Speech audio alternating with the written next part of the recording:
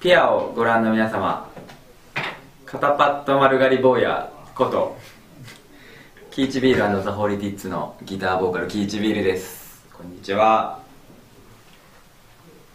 これはあの300円で買った女性用の肩パッド入りのシャツなんですけれども。まあこういうのもどんどん着ていこうかなっていう感じで。で5月15日にセカンドアルバムをリリースしました僕たちは、まあ、東京の5人組のロックバンドなんですけど。まあこれはこのアルバムはまあその途上の僕らの、まあ、今のところの集大成ってわけでもないですけどなんか頑張っていいポップネスななんかそのものすごいポップの神々のポップの領域に近づいてき始めた第一歩みたいなアルバムになってると思うんでぜひぜひ聴いてください。長い間聴けるアルバムなんじゃないかなと僕は思ってます。で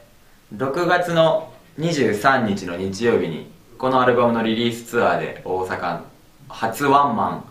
があります、えー、梅田シャングリラっていうところで初めてのワンマンライブなんですけど。